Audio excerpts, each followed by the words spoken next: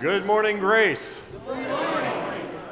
We welcome you to worship at Grace Covenant Presbyterian Church. Whether you are here in person, uh, I'm going to let you figure that out, whether you're here in person or not, uh, or whether you are joining us online. We're glad that you are here. I have several announcements uh, to make. Uh, Tuesday evening at 7 o'clock, there will be a prayer meeting here. We invite you to come. Ash Wednesday is on, obviously, Wednesday. Um, and it's this coming Wednesday. We will be having a chili supper at 5:30, and then we will repair to the sanctuary for the Ash Wednesday service, and we will be having our normal discussion on the art of neighboring. If you are planning on coming for the dinner, uh, please let Becky know in the church office so that Becky Ogburn will know how many people to prepare chili for. Um, there's no mention in the Bible of Jesus doing a miracle of making more chili. so we didn't cover that in seminary, but I am preaching on the feeding of the 5,000 today, but taking a little different tack.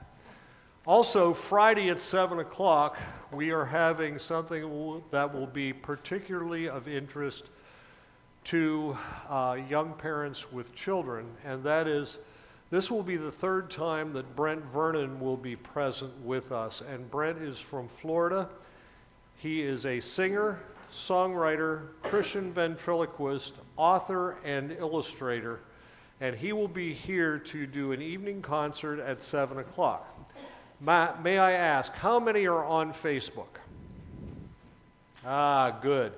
You are the advance army for advertising, although you may not know it. Good. Don't just like something that is put up on Grace Covenant's Facebook page. Share it. If you like it, it doesn't go any farther than you. It's like, oh, well, one person liked, a, you know, whatever we put up there.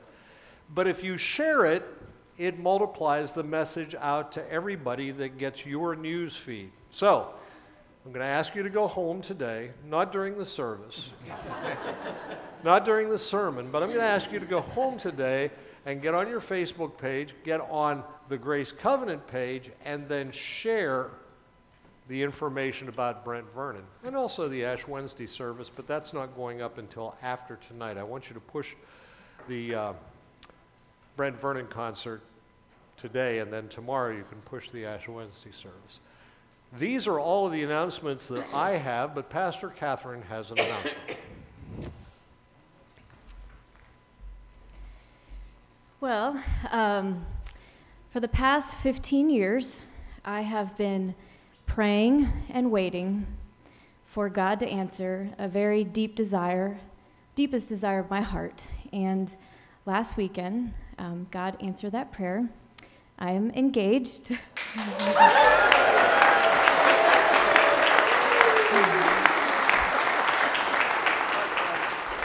And um, so let me explain, because I'm still in a state of shock myself, and I know that, that you all are shocked. Um, so this, uh, his name is Virgil Moore. He goes by, he has a nickname. He goes by Gator. There's a story behind it, but we call him Gator.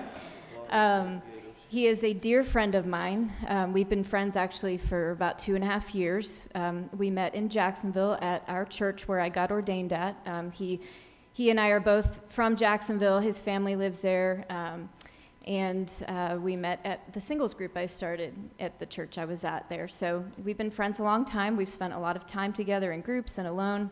And um, when I went to visit my family over Christmas, um, it blossomed into something more. And so um, I'm very um, grateful to God. He is an answer to prayer and a very good gift. And I love him. And I'm excited to um, get married, and we plan on getting married in Jacksonville at the church we met at um, on May 21st of this year. And so the plan is for him to move here, and um, I know he's very excited.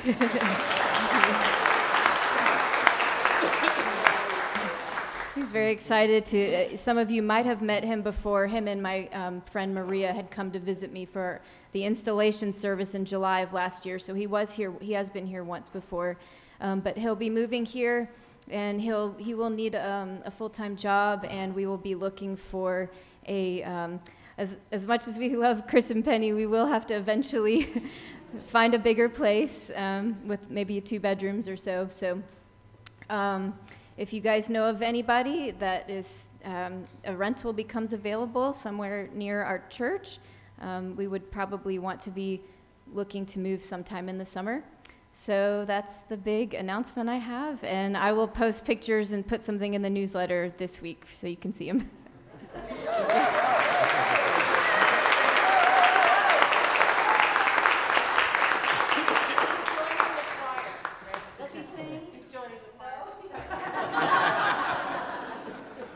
Our liturgist today is Dick Hellier, and as far as I know, he has no announcements that can top that one.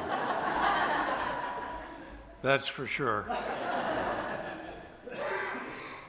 Good morning, my fellow seekers, and uh, welcome to the next to the last day of February. Yes, where did February go? Don't worry, uh, March will be much longer. Three days. Join me in cramming everything possible into the available time. Welcome to Grace Covenant Presbyterian Church.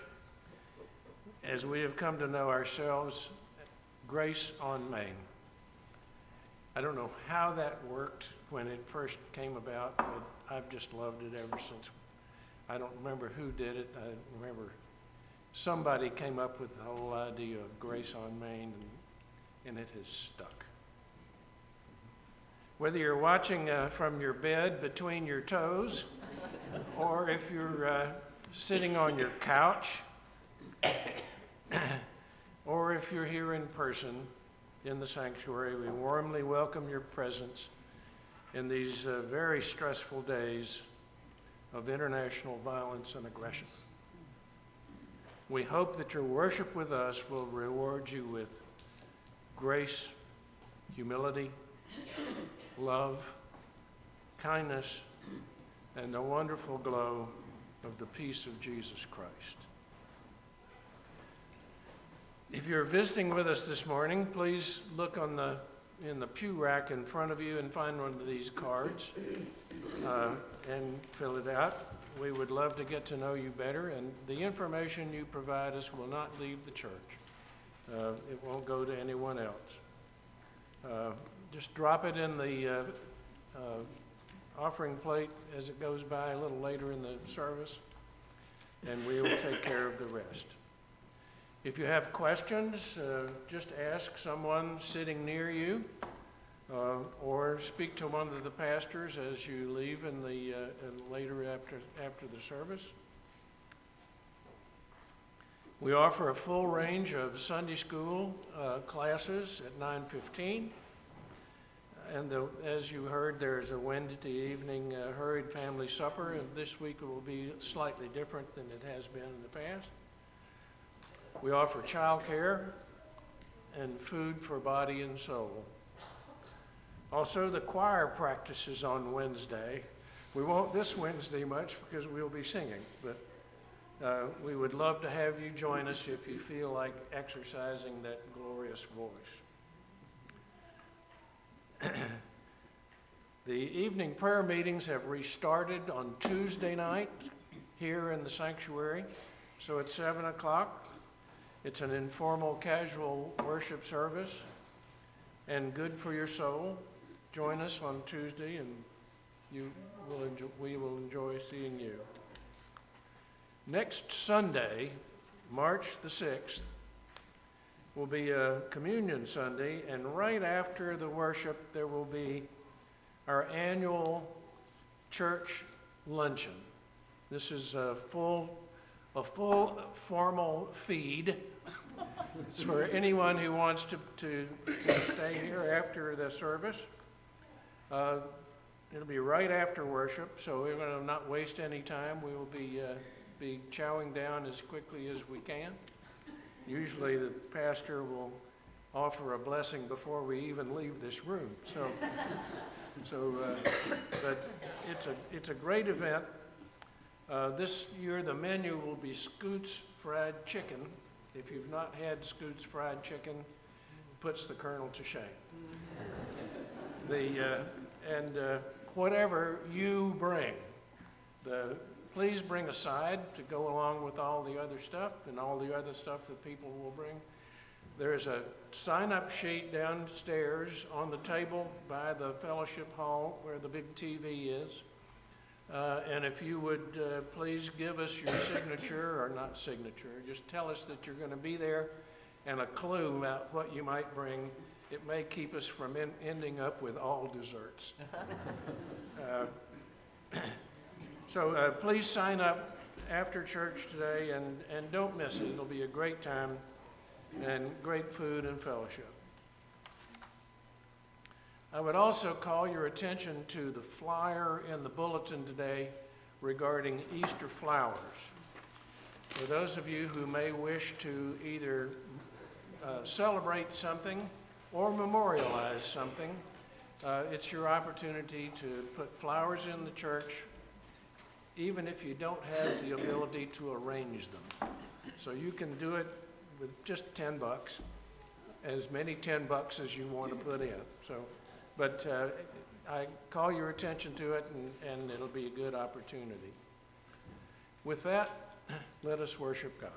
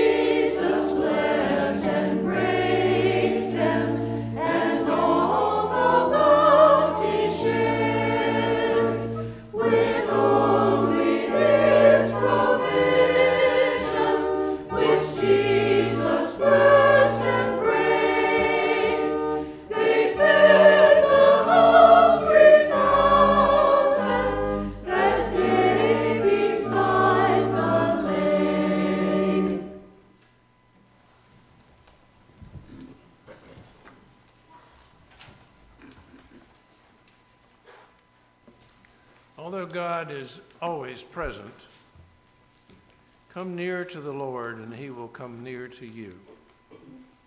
Please join me in declaring responsively the call to worship as it is printed in your bulletin and as you will see it on the screens.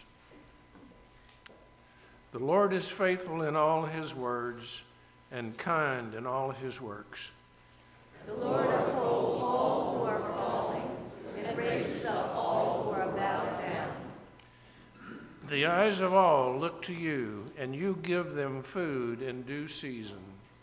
You open your hand, you satisfy the desire of every living thing. The Lord is righteous in all his ways and kind in all his works. The Lord is near to all who call on him, to all who call on him in truth. Let us worship the Lord with all of our being.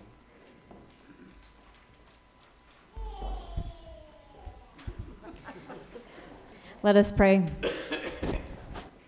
Lord, we love you, we worship you, we praise your holy name. There is nothing greater than you. We stand in awe of your majesty. Words are not enough to describe your beauty. Thank you for inviting us into your presence, for calling us your children. We are humbled by your great love for us. Lord, we don't want to just be hearers of your word, but doers. Speak to us and convict us, Holy Spirit, to do good works in your name. We love you and we love serving you. It's in your name, Jesus, that we pray. Amen. Amen. Please stand if you're able for our opening song. And since this is new, the choir will sing the first verse and chorus, and then we will sing the first verse and chorus again and invite you to join us.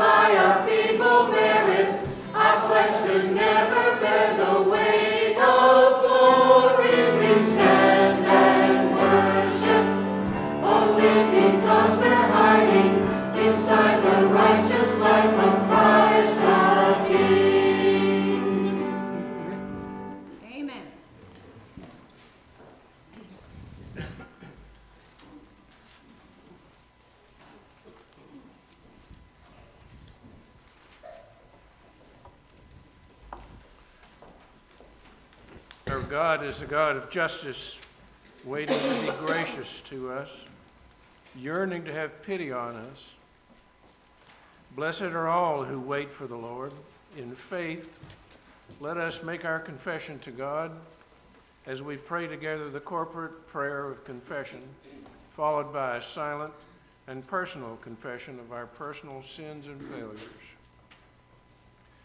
God of peace and hope, we confess to hold tightly to things we cannot control.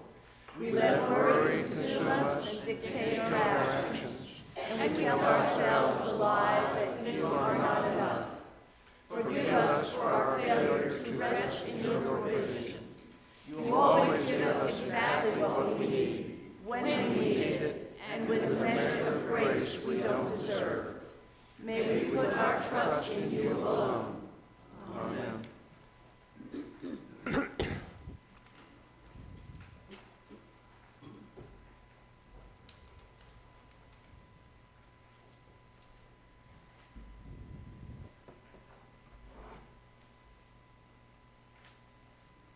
Amen.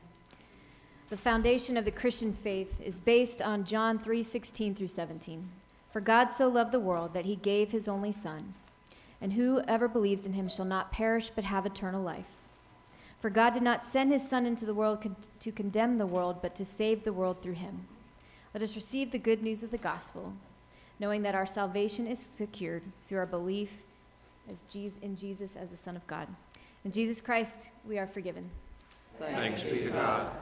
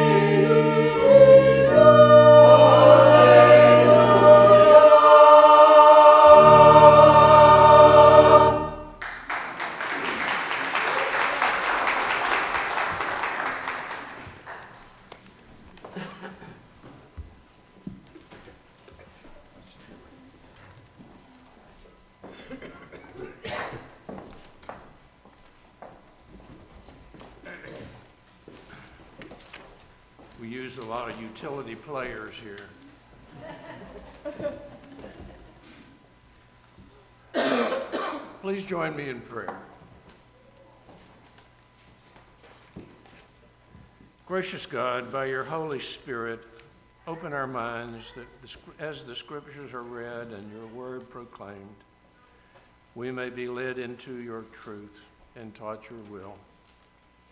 Through Jesus Christ we pray. Amen. The scripture this morning is uh, the Gospel of John, chapter 6, verse 1 through 15. It's familiar territory to many. After this, Jesus went to the other side of the Sea of Galilee, also called the Sea of Tiberias. A large crowd kept following him because they saw the signs that he was doing for the sick. Jesus went up to the mountain and sat down there with his disciples. Now, the Passover, the festival of the Jews, was near. When he looked up and saw the large crowd coming toward him, Jesus said to Philip, Where are we to buy bread for these people to eat? He said this to test him, for he himself knew what he was going to do. Philip answered him, Six months' wages would not buy enough bread for each of them to get a little.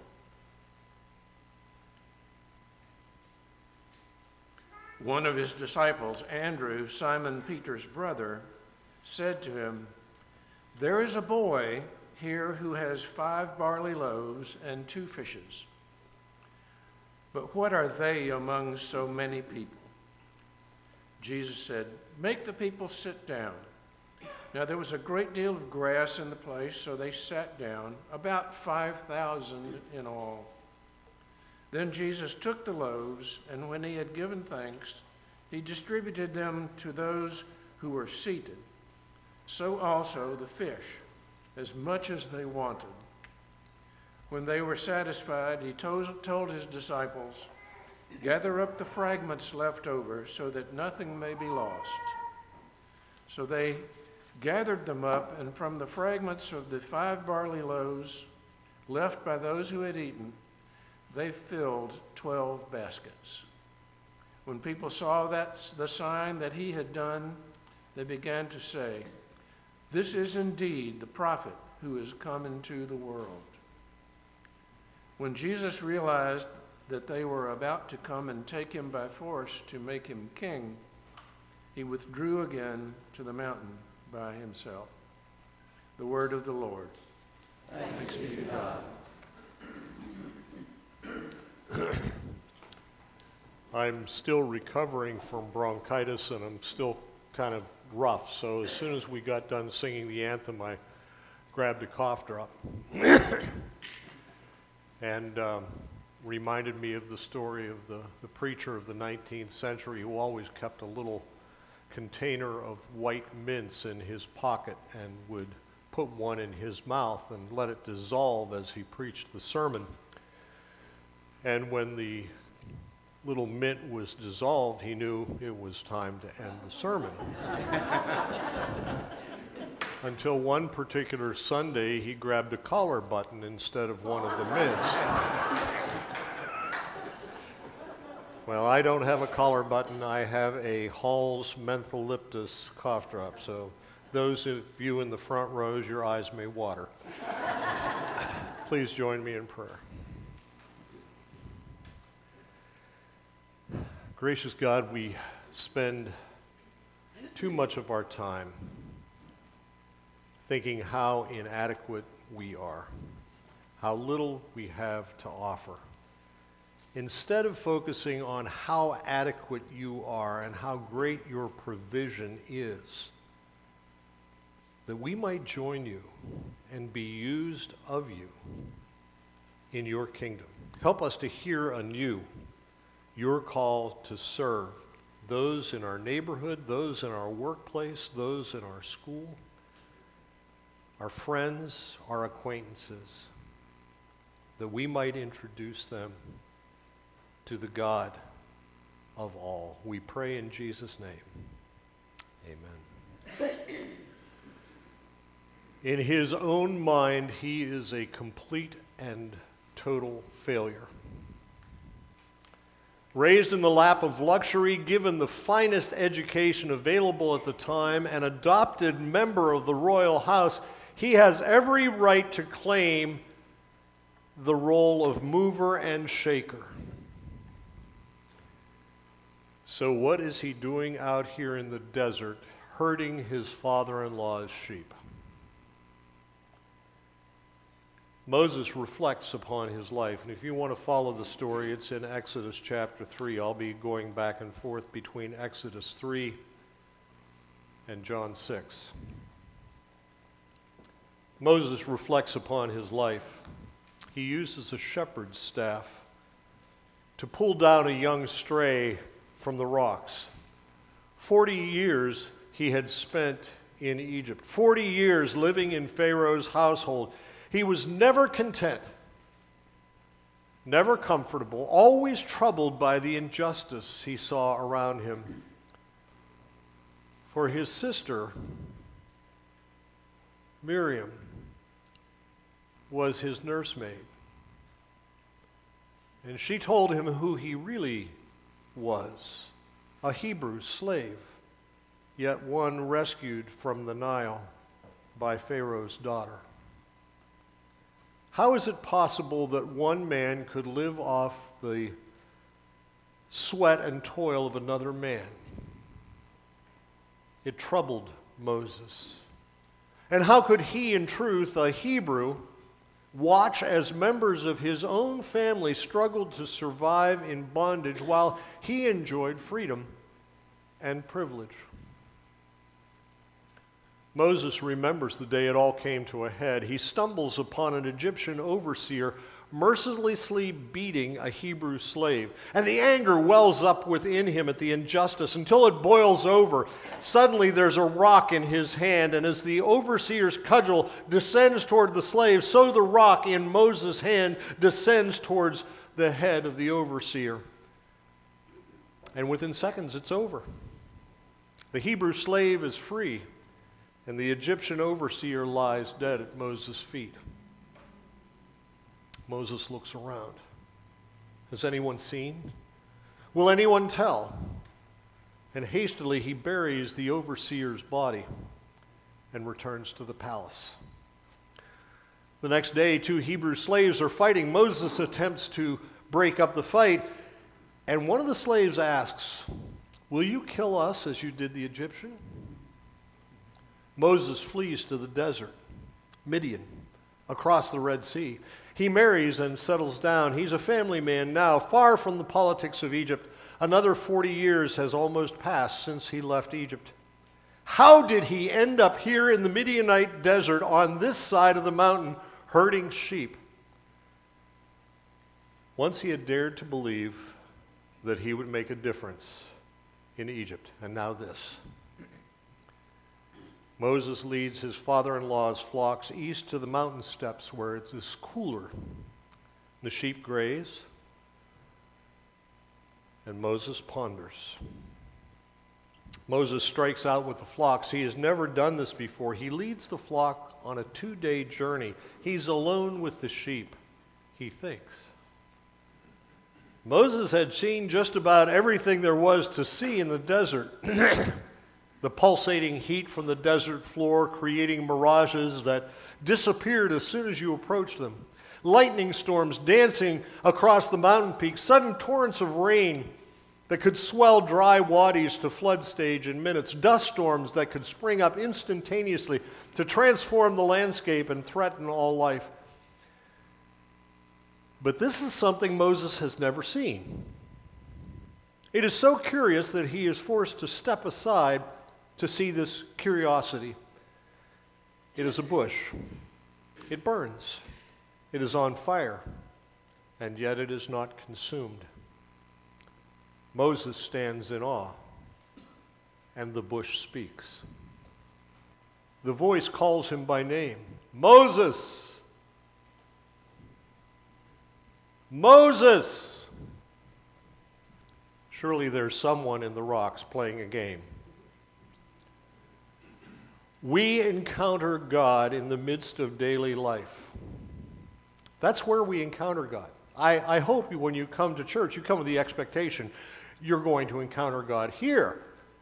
But we don't just encounter God here. We encounter God in daily life, and sometimes we are the means by which other people may encounter God. Moses wasn't doing anything special, he was just doing his job. It was an ordinary day on an ordinary mountain, and yet it is here that Moses encounters God. Moses wasn't even looking for God. But God was looking for Moses. And God is looking for you. God is looking for your neighbors. God is looking for the people that you associate with, your friends, your family. And God has work for you as well. God is about to connect the dots between Moses' past, his present, and his future. He thinks his life is over. But God has a purpose for Moses to fulfill, and God has a purpose for you as well. The burning bush becomes emblematic of the condition of the Hebrew slaves in Egypt. They are oppressed, they are overworked, they are persecuted, and yet through all of this, in spite of a ruler bent on annihilating them, they continue to prosper and thrive. The reason for this was that just as with the bush that burned and was not consumed, God was in the midst of God's people. God hears the cry of the Hebrew slaves in bondage. God remembers his covenant with Abraham and Isaac and Jacob, and God acts to free the slaves. There's only one small detail God's not going to do it alone. He requires a human agent. God will not merely reach down and strike Pharaoh and the Egyptians, God will use Moses. And so Moses must return to Egypt, where he's a wanted man even after 40 years. He must risk returning to the place from which he is a fugitive murderer. God calls us as we are, where we are. Moses' confidence in himself was at an absolute nadir. Forty years ago, he would have accepted the commission and returned to Egypt to free the slaves under his own power. Those days were gone, and he's now full of excuses as you read the story. I'm not a good public speaker. Who am I that I should go and speak to Pharaoh and bring the Israelites out of Egypt? He asks. Moses was obviously conscious of his inadequacies. Let me tell you, this is not in my script. This is true confession time. Every time I step into that pulpit, I have a conversation with God. Who am I? I know what my own spiritual life is like. Who am I that I, I should speak to these people that I love? And yet, that call is on my life, whether I like it or not, whether I feel adequate or not, whether I'm full of excuses or not. Who am I that I should go to Pharaoh and bring the Israelites out of Egypt? Forty years had done nothing to wash away the bitterness of Moses' own failures. Perhaps you've asked the same kind of question Who am I to reach out to my neighbors in Jesus' name? What can I do? What can I say? What do I have to offer? Have you ever felt that way? Have you ever felt that there is no way God could possibly use you? Because you live with you. and if you don't live with you, somebody else lives with you. And if you won't tell yourself that, they will. Have you ever felt that your past is so haunted that your present might very well prevent your future? Who am I that I should speak up? Who am I that I should take action? Who am I that I should do that? All of us suffer from feelings of inadequacy, insecurity, and fear of failure. Even the most successful among us, if they are honest, will admit to these feelings. And compound these feelings with those that come after a failure, and you will understand the mind of Moses. During World War I, Theodore Seuss Geisel, Dr. Seuss, his Boy Scout troop sold a record number of war bonds, and the boys were to be presented with medals by former President Theodore Roosevelt. Geisel's troop sat on the stage as Roosevelt praised them and called out their names one by one. And finally, young Theodore was left alone on the stage with Roosevelt. The former president looked at his list and then looked at this boy. And then he glared at the embarrassed boy. What is this little boy doing here? Which, if you know anything about Theodore Roosevelt, he would have blustered that out loud. Unfortunately, Geisel's name had been left off the list by accident. Years later, explaining why he felt insecure in crowds and seldom gave speeches, he recalled the shame. I can still hear people saying, What is he doing here? Facing a crowd caused Dr. Seuss to retreat from public speaking and teaching. But he benefited from this flashpoint experience. He redirected his efforts and went into writing and illustrating children's books, bringing joy to millions of fans. All this from a man whose high school art teacher told him, You will never learn to draw. and whose Dartmouth College fraternity voted him least likely to succeed. God takes Moses and each one of us where we are, as we are. God's not looking for capability as much as God is looking for availability. It is God who qualifies the unqualified. It is God who provides the adequacy for those who feel totally inadequate. We need only be obedient to the call and the rest will come in time. My cough drop is done, thank you. no, it's not. I found some more. Take this morning's scripture lesson as an example. Jesus goes to the far side of the Sea of Galilee from where he has been teaching. Commentators say that Jesus likely withdrew to the barren hillsides on the east bank of the Sea of Galilee. So Jesus is trying to get away from these crowds that keep showing up all the time. And the hills would be an ideal area for him to climb and be alone with his disciples. And Jesus often spent time in the hills. It's where he went to get away. Now, if you read through Scripture, you find out that mountains are considered places of divine encounter.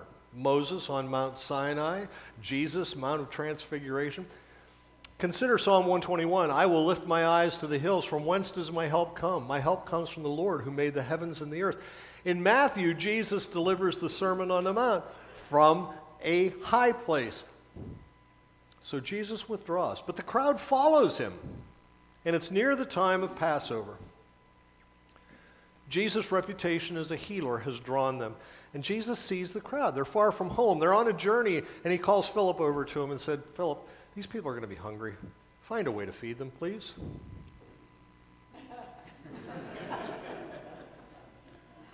Philip, often portrayed as the tactician of the disciples, the, the, the planner, the, the go to guy to get something done, looks out at the crowd, and it's huge. John indicates 5,000, but in the Greek does not use the word people.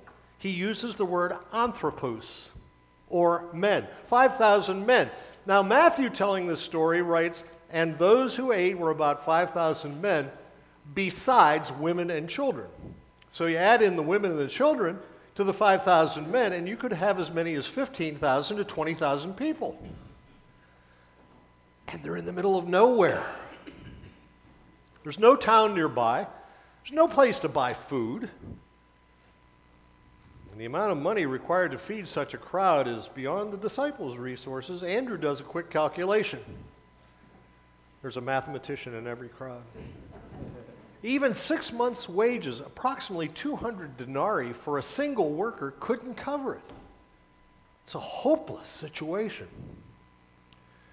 Meanwhile, another disciple, Andrew, the brother of Simon Peter, has been seeking another solution. He goes out looking for food. Anybody got any food? You got any food? Anybody got any food? Any, anybody have any food? You want to contribute? Maybe somebody brought something. Maybe everyone brought something and there's no food crisis at all. That would be a nice solution, wouldn't it? I envision Andrew walking through the crowd. Does anyone have any food on them? Did anybody bring lunch? And no one knows why he asks, and the people just shake their head. They shrug their shoulders. They lift up empty hands. But a young boy digs in his bag, resourceful young buck, and he offers up his lunch five barley loaves and two fish. Ah, but the story gets better in the Greek. The story gets better in the Greek. The word for fish is opsos in the Greek. However, the form of the noun here is opsarion, and it means small fish. Five barley loaves and two fish, two sardines a feast for one. And the crowd is curious. They're looking to the disciples and Jesus, curious to see what Jesus will do.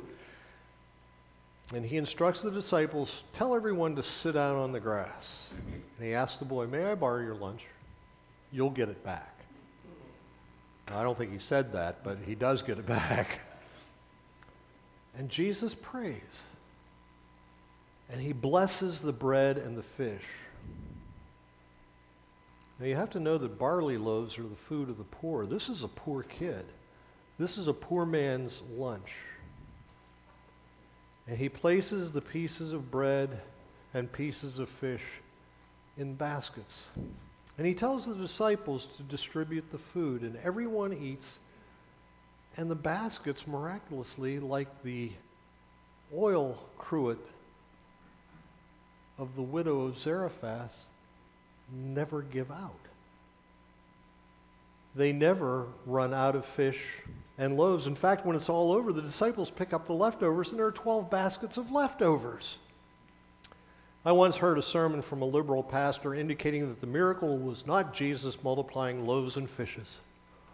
The miracle was that the little boy sharing his lunch shamed the adults into sharing what they had brought too. I don't know about you, but I believe the people of Jesus' time were smart enough to tell the difference between a miracle and a potluck. Did everybody decide to bring loaves and fishes for lunch? Surely somebody brought carrots and yogurt. I'm looking at Catherine, she's a vegetarian. Just teasing. Nobody brought olives. Nobody brought figs, dates, cold lamb, well, warm lamb, or grapes. I'm going to stick with the miracle that all, all four of the gospel writers record. What the boy did was necessary to the story. He didn't have much, but he was willing to give what he had. We serve God best when we give what we have, where we are, by offering it up to God's service. When it comes to doing ministry, especially with our neighbors and our friends, the point is clear. Don't give what you don't have. Frankly, you can't give what you don't have. But if you're willing to share what you do have, no matter how small or insignificant it might be, God can bless you and bless others in ways you can't imagine. The famous missionary to China, Hudson Taylor, once wrote, Depend on it. God's work done in God's way will never lack God's provision, God's supply. He is too wise a God to frustrate his purposes for lack of funds, and he can just as easily supply them ahead of time as afterwards and he much prefers doing so. That has to do with lack of resources as well as lack of funds. Like Theodore Geisel, many of Jesus' disciples probably looked at the little boy with the paltry lunch and said, What is this little boy doing here? The disciples were looking pretty much at the paltry lunch. So was Jesus. But the disciples were looking at what they couldn't do, what the lunch couldn't do. Feed 5,000 men, feed 20,000 women and children. You must be kidding. But Jesus was looking at what God could do. This keeps coming up in Scripture. Lazarus has been dead for four days. Everybody's going, oh, don't bring him back. He's going to stink. when the boy gave his lunch to Jesus, the multitude had lunch. We don't know the boy's name, but we do know his story, and it has been told by all four gospel writers all the way down from the time of Jesus. Like the woman who bathed Jesus' hair and or bathed Jesus' feet and anointed Jesus with the oil of nard, we remember the story. That little boy is famous. Now back to the Moses story for a moment. God appears to Moses in the burning bush. Moses turns aside to see, and God reveals his whole plan of how he's going to rescue the Hebrew slaves from Egypt and bring them into the promised land. And Moses, like most of us, see problems, not possibilities. He's looking to himself. And in Exodus 4 1, Moses says to God, But suppose. Suppose they, the Hebrew slaves and Pharaoh, do not believe me or listen to me, but say, The Lord didn't appear to you. And God asks Moses a simple question What do you have in your hand? Moses looks. It's a shepherd's staff. It's a tool, a symbol of his job for the last 40 years, and God tells Moses, throw it on the ground. I believe that implied in that command are several questions. Are you willing to let go of the familiar to begin a new adventure with me? Are you willing to trust me? Are you willing to look beyond your own inadequacies and look to what I will provide? Are you willing to give what you have and let me use it and then see something miraculous happen? God rarely calls the qualified. However, we see repeatedly in Scripture that God qualifies the called. What is that in your hand? Think of all the resources God has given you. Think of all the things about your personality, your makeup, who you are, that make you who you are. Is it a staff? Is it a poor child's lunch? Are you willing to let God use it? Are you willing to trust God to use you even when you believe God can't? Obviously, God can't use me. And you're convinced that you have little or nothing to offer. You can't give what you don't have. God's not asking that. God never asks that. But God can and will use what you do have. You just have to turn it over to Him. And that starts with your whole life. What are the needs around you in your neighborhood, in your friendship circle? What are you willing to risk and turn over to God's direction and blessing so that God might use you? Let me tell you a story. In 1972, the year I graduated from high school, which seems a long way off after yesterday, NASA launched the exploratory space probe Pioneer 10. And according to Leon Jaroff in Time magazine, the sa- satellite's primary 21 month mission was to reach Jupiter, photograph the planet and its moons, and beam data to Earth about Jupiter's magnetic field, its radiation belts, its atmosphere.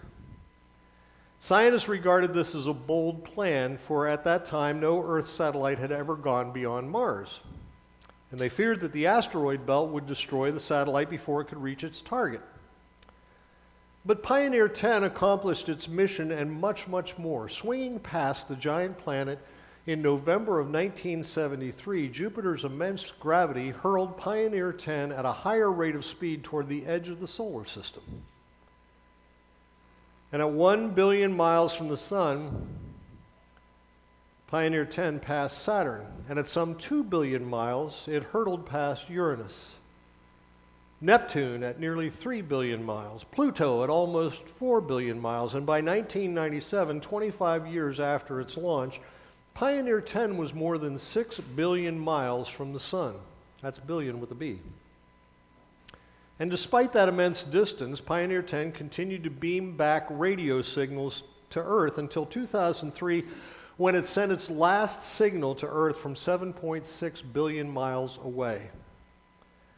Perhaps most remarkable, writes Jaroff, those signals emanated from an 8 watt transmitter, which radiates about as much power as a bedroom nightlight, and take more than nine hours to reach Earth. The little satellite that could was not qualified to do what it did.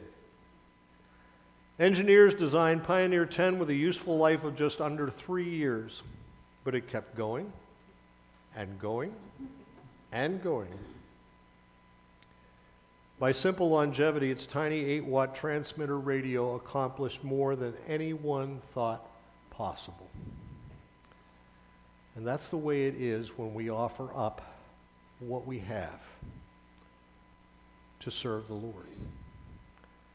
God can work through even someone with 8 watt abilities. God cannot work, however, through someone who quits or never tries. Soli Deo Gloria, to God alone be the glory. Amen. And I still have plenty of cough drop left, but I'm going to stop. Not many people admit to chewing on a collar button.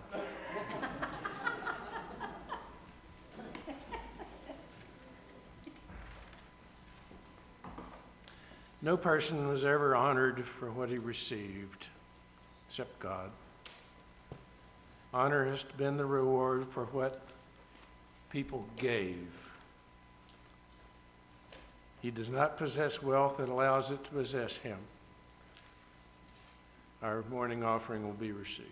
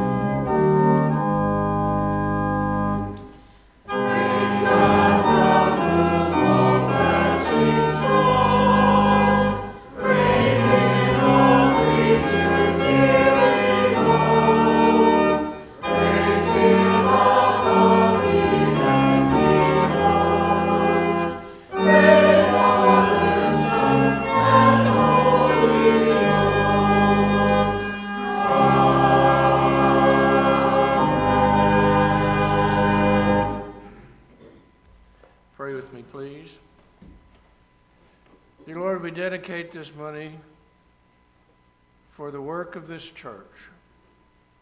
And we ask you to use all that we have and all that we are in your service.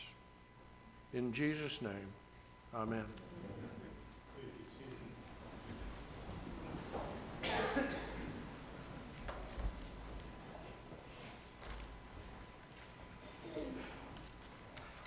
Pastor Doug wrote that sermon for me. I'm up here saying, Who am I that I can do this?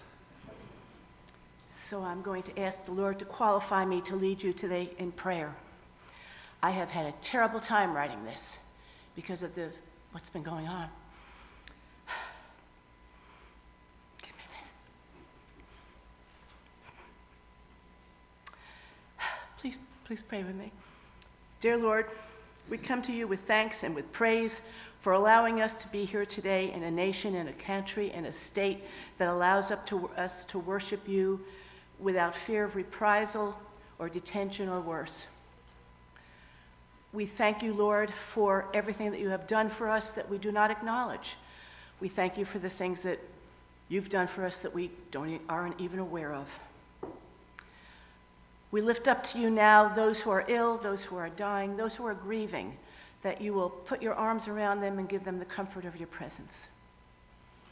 And Lord, we lift up to you our, our leaders, our state, our national, our international leaders, because, gosh, we really need you right now.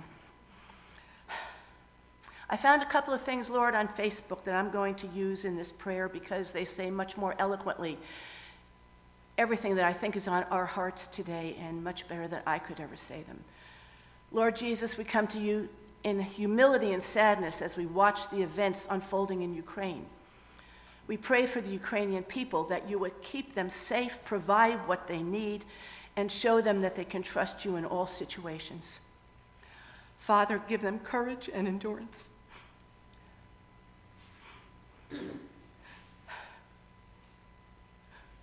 Show them mercy and help them in ways that they can see your mighty hand. Strengthen the church and help believers to be your hands and feet during this time of distress. We also pray for the people of Russia as they see their children go to war and sustain the consequences of their leaders' actions. May they seek you and find you as the answer to their needs as well. Lord God, we express our confidence in you. We do not know what tomorrow may bring, and we know that with war comes tears, heartache, and significant loss. But we also know that you are God, and if we look to you, you will guide us.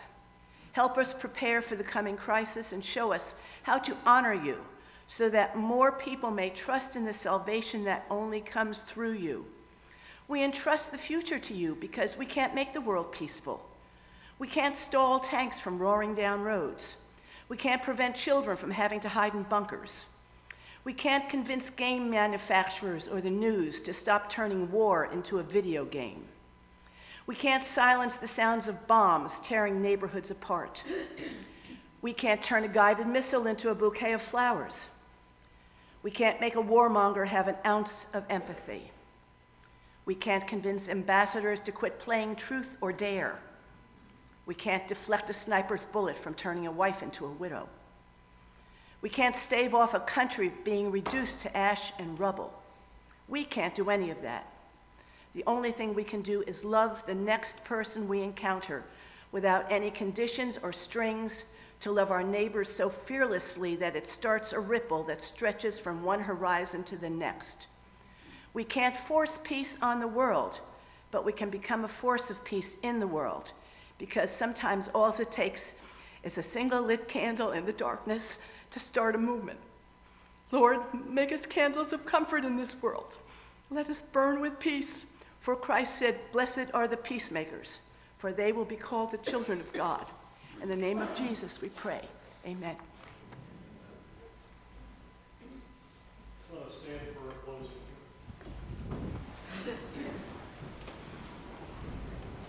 Have in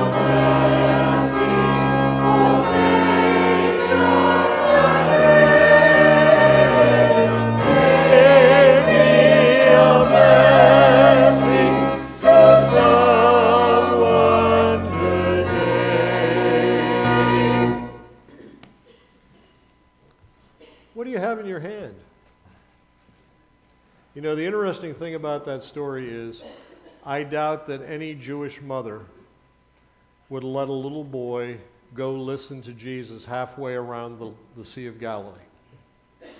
I'm sure that that Jewish mother, knowing what we know about Jewish mothers, and all mothers, they were there also.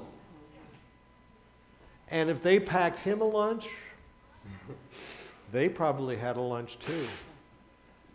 But it says in Scripture, a little child shall lead them. The little boy was the only one willing to give his lunch up. I think that's significant. What do you have in your hand? Go out into the world in peace. Serve the risen Christ. Know that God loves you and that in this place you are loved. And may the blessing of God Almighty, Father, Son, and Holy Spirit be with you and abide with you now and forevermore. Amen. 아.